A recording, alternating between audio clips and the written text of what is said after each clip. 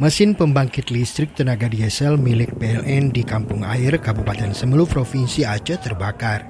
Insiden ini terjadi pada minggu sore 16 April 2023. Dalam video yang beredar, terlihat api berkobar dalam sebuah bangunan yang di dalamnya terdapat sejumlah mesin listrik tenaga diesel. Tampak sejumlah pekerja berjibaku memadamkan api.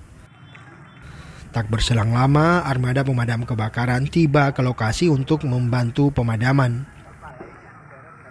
Sejauh ini belum ada keterangan resmi dari pihak PLN terkait kebakaran tersebut.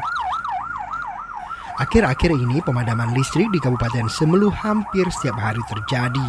Pemadaman rutin ini akibat terjadinya kerusakan pada mesin pembangkit tenaga diesel di wilayah itu.